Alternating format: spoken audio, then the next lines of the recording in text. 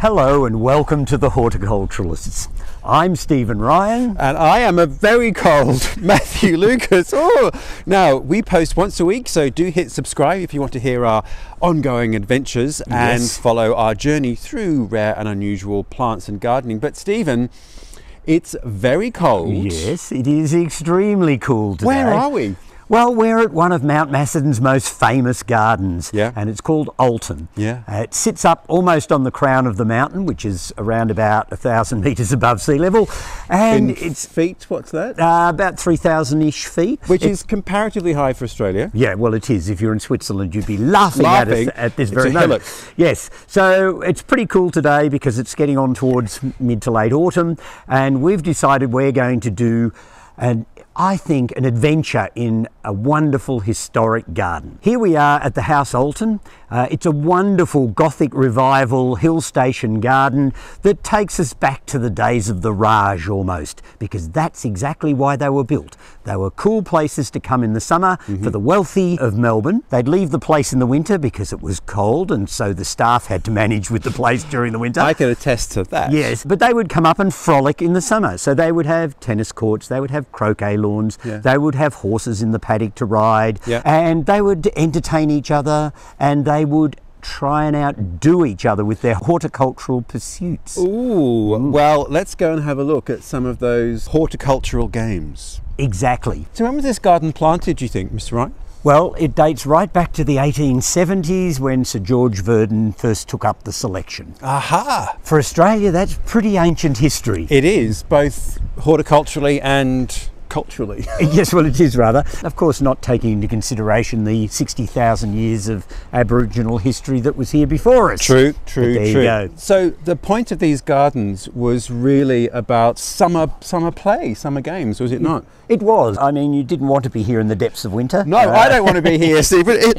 viewers, I don't know. You can see my breath. It is so cold. It is, it is. It's almost Arctic up here. So, of course, the people would have come here for the summer Yep. and it was all about what they could do to entertain themselves and their visitors. And, of course, something like a tennis court was de rigueur. which we're on now, which is somewhat autumnal, but it's very beautiful. And the garden that we visited um, a few episodes ago, Karori, Yeah. so that was a house that had a similar role in terms of society and culture. Oh, Yeah, it, it certainly did. And this particular one, the selection was taken up by Sir George Verdon, who apparently was Victoria's Agent General in London at something like the ridiculous age of 21. Precocious, Um, he was precocious. And he built the house and the main body of the trees that you see around us. And so Aha. the giant conifers Yeah. actually have a story of their own. Yeah. They were very popular in Victorian times, of course. Yeah. So they would have been planted anyway. Yeah. But when the selections were taken up, what happened was the mountain had been cleared of forest trees, so the timber that they took to Melbourne Mm. and also to the goldfields in Bendigo. Mm-hmm. And so the government didn't know, in fact, whether the forest was going to grow back. So when you took up a selection here, one of the rules and regulations was that you had to plant X number of large conifers Yeah. per acre so that they could see by experiment which trees could be used as replacements for the native forest they thought might have disappeared. Aha! So it's historically very interesting. That's these trees in front of us. Well, we'll swing around and have a look at them. Yeah, well, there's some of them there. In fact, Australia's potentially tallest exotic tree is in this garden, and it's a giant Sitka spruce, which is about 45 metres tall. Uh, not In that it- feet? Uh, oh, no, no, it's too hard Tall, for me. tall, very tall. tall. It's got a huge girth on it. We'll probably get some footage of that particular tree because this garden is full of nationally important trees, both for their age, their size, and their rarity. Okay, well, let's go and have a look. Yep. Mr. Ryan, so is this not behind us the tallest exotic tree in Australia, in Victoria? Well, we think it could even be the tallest exotic tree in Australia. It was planted in 1874 by Sir George Verdon. Yeah. When he started his challenge of having the best garden known to man. Yeah. And I'm sure all of the owners up here were heading in the same direction. Because the, the climate up here, this is um, uh, a mountain, although it's a mount. Those of you who live in mountainous regions will laugh at us calling this a mountain. But um, obviously, very cooler in summer. Yep. So you were able to grow very different things Ah. here than you can in Melbourne down on the plain. Yeah. So was there a lot of competition about the type of things people Oh, planted, the yes. rarity, where they got them from? They wanted the- the one and only where possible. Has It- anything changed? No, not really. The whole point was to have something that your neighbours didn't have. Yep. Mm. So plants were bought from the local nurseries. Yeah. Plants were also imported direct from overseas. Was there a version of you in the 1920s? Uh, yes, there was. William Sangster, who had a nursery down uh, the bottom of the Mount further. He also had another nursery in Toorak. Yeah. And I can see him now sitting in his desk in his lovely copper plate script, writing to all the garden owners and saying, I have just imported uh, the rare weeping holly from Europe and your garden deserves one. And then They bought them. and writing that to every other client. Yeah, as well. exactly. So there you go. This tree is a, Sitka spruce. and where's it a native of? It's North American, and in fact, in North America and parts of Europe, it's a very, very common tree that's planted for forestry purposes. So those of you in North America and Europe Yeah, are going, laughing. what's the big deal? Yeah. But for us, it's a very significant Yeah. introduced, well, an exotic tree. Yeah, well, it's uh, 42.5 metres tall when it was measured in the year 2000. Now, forgive us for not being able to convert that. I'll well, it's put- sort of about 120-ish something feet. I did sort of do it in my head, probably closer to 130 feet. Okay, I'll put a box Yeah. below that explains what it is in feet, Yeah. but it's enormous.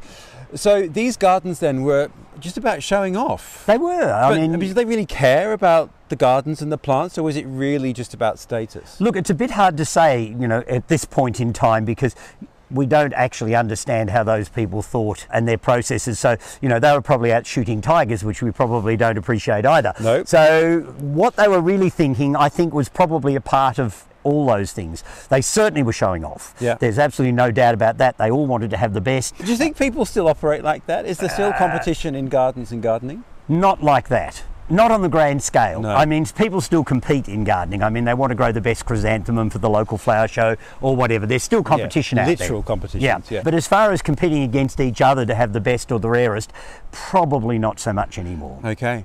I think we need to go and hug that tree. Yes, well, Are you a tree hugger? Yeah, I am, but this one's rather slimy and wet Oh, it is, moment, it is, but- it is. But look at it. I'm- I'm gonna touch it. I'm yeah, let's just touch it. It's also soggy wet. Oh, it is, and Yeah. there's ooze. Anyway, Yeah. yeah, so the Sitka spruce is a remarkable tree, but just one of many in this garden. Yeah. I mean, it has a collection uh, that was started in the 1920s by G.R. Nicholas, who owned the Aspro company, Yeah. very wealthy man. He started bringing plants in as well, and this garden actually has a collection of possibly the most New Zealand native plants in a private collection in Australia, which Ah. is yet another story, maybe in due course. indeed. Well, we should go and have a look yes. at more. We'll try and find some New Zealand ones, Yeah. and we'll try and find some other exotic trees Yeah. that people fought over. Come Yes, on, let's we go.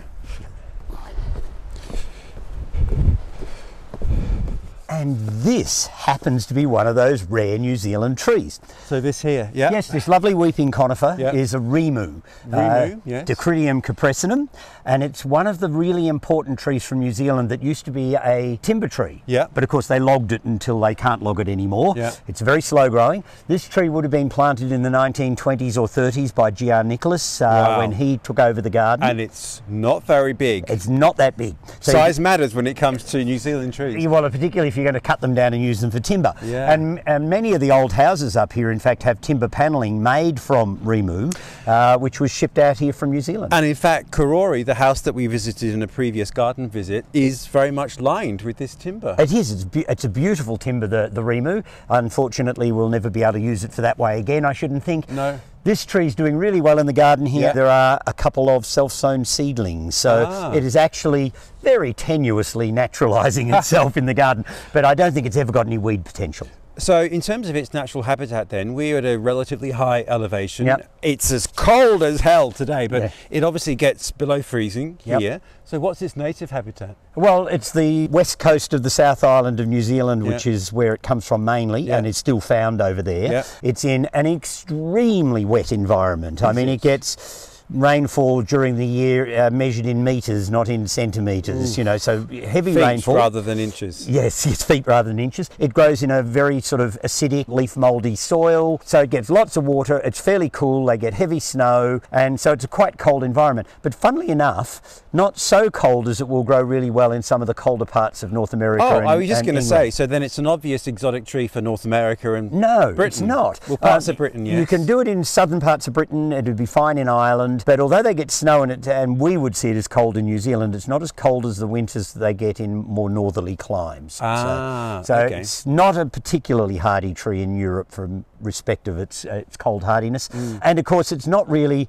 got much garden context for the average home gardener because it's very slow growing. Yeah. But its weeping habit as a young plant makes it an ideal tub specimen. Really? Yeah, you could have it in a big tub for donkey's years. You'll just have to decide who to leave it to in your Well, will. exactly, become a family heirloom, Ah, in fact. oh my goodness. So that's just one of the many examples of New Zealand native plants growing in this garden. All right. Well, I also heard that you were a child in this garden, tiptoeing through the tree ferns. Let's go and have a look at some of your childhood. what a good idea. Let's.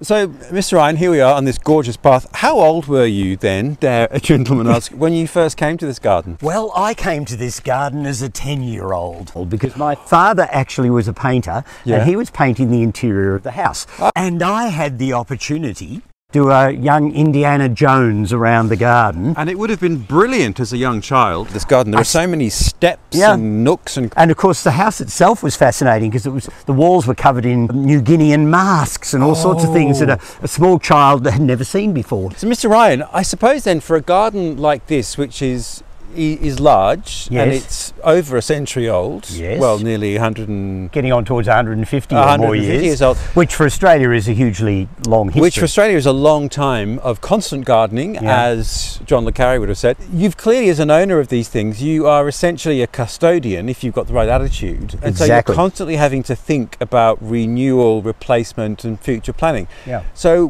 what role do you have in this garden now? Well, it's really interesting because, you know, as I said, as a 10 year old, I ran around here. Yeah. But as a young adult, I supplied trees to Shirley Nicholas where Really? she needed to have things planted again. Which ones? Well, behind us, there are some golden Irish yews growing against the wall of the house. Ah. And there's been an ongoing commitment with me to the garden for a long, long time. Yeah. And it's now grown to the stage where the current owner not only wants me to consider, you know, the long term plans for different trees, the replacement of trees as they senesce, Yeah. but also Senesce? senesce, get old. Oh, right. We're all senescing. I thought that was a euphemism for die. No, no, Senesce is just getting very old. Right. But also to keep the ethos of the original owners going because Yeah. they acquired anything they could get. Yeah. So they wanted the rare, the interesting, the botanically strange plants. Yeah. So not only are we looking at planting things that will take over from some of the trees that were here, Yeah. but also nodding to the idea of the garden in the first place and planting things that would not have been available to the original owners, Yes, indeed, but in indeed. fact would have been things they'd have snapped up had they been able to. Such as, do I spy a rare palm before yes. me? Yes, now this Tell is us. one of my latest little projects. Yeah. The garden here has two or three old specimens of the um, Chinese fan palm, which we planted some bromeliads on my in my Ah, garden we did, eight- we eight- did, we ages did. ago. We'll link Uh, that video, but here is an amazing one. Yeah, there's an old one here you. that probably dates back to Sir George Verdon, so back to the 1870s, 1880s, thereabouts. Yeah. It may have been a later planting, but I don't think so.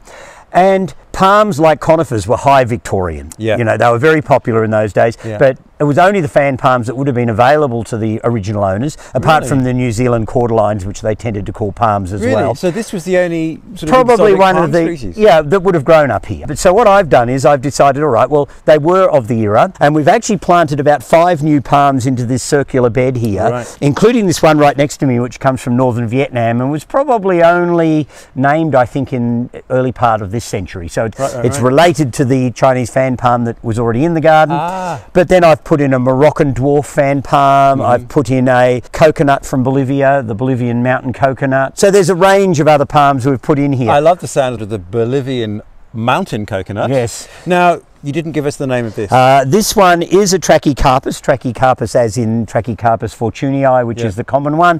This one is actually Trachycarpus princeps, which is a very well thought of palm amongst the palm lovers of the world. the palm lovers. Yeah. And uh, in terms of its growth, is it going to be a specimen like this one with quite a it will be quite height? tall, but I don't think Princeps gets quite as large. Yeah. And I've also planted an even rarer one in another part of the garden uh, called Trachycarpus geminosecta, Yeah. which is also from northern Vietnam, although they think there might be specimens of it in southern China as well, but they don't know. So here's a question then.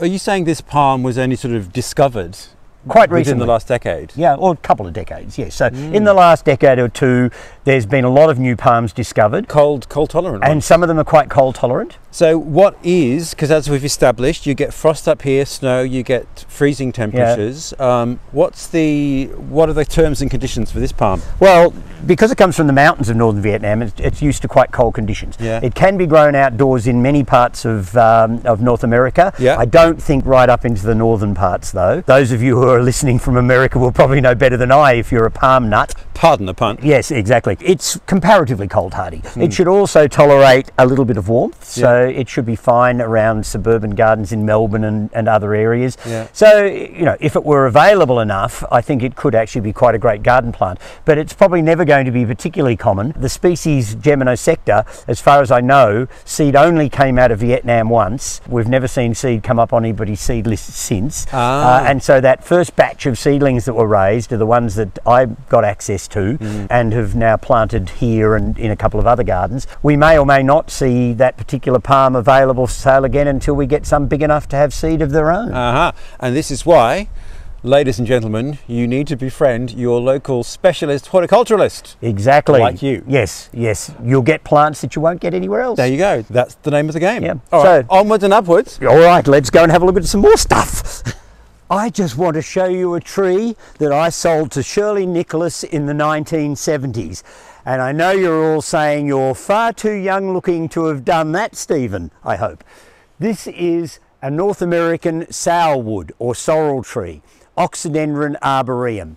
It's turning colour at the moment, not as good this year as normal. It normally goes a wonderful red. It has little white flowers in the summer, Yeah. which are quite pretty. It's very rarely seen in Australia because it will only grow in these cool mountain type gardens. Aha. So it is a North American tree. Yep. And what's its range? It grows in the cooler parts of North America, so it'll Yeah. go down to quite low temperatures. Yeah. It's very, very tough. Those in America that grow in its natural habitat, I'm jealous because it must be stunningly beautiful in the autumn in its home. Yeah, yeah, yeah. There we go. Well, Mr. Ryan, Historic Gardens 101. I think we've covered just about everything, including your childhood. Well, we have covered my childhood this time around, but we will be back to some of these gardens, including this one again, Yeah. because there's a lot more to know about the background of these gardens and, and their so. purposes. Yeah, yeah, yeah. And that interesting notion that if you're lucky enough to own a garden that has history, how you nurture that and manage it and plan for the future. Yeah, exactly. Well, there we are. Thank you for watching. Do hit subscribe. We do post every week, and we are going to continue to visit such wonderful gardens, which you had the keys to. Yes, I, I can get us into almost every garden. lucky, lucky, lucky. So, thank you for watching, and we will see you next week. Goodbye, all.